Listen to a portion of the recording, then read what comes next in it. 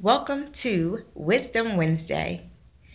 Today, we just wanted to come on and give you a tip to help you along your journey to financial freedom. As you're considering all of your expenses, don't forget to consider your direct debits. Those are the things that you've set up an automatic debit system in your account. So the funds are directly taken out of your account on a consistent basis, whether it's a weekly basis or a monthly basis.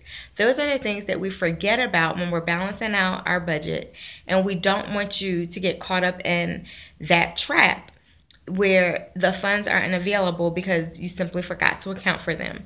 So, as you're listing out your expenses, we encourage you to go back to your online banking system, identify every expense that you have, not just those that are huge um, and that you definitely couldn't forget jot everything down, and walk into freedom. If you're looking for additional tips, please join us for the My Money Matters Challenge. Have a great day.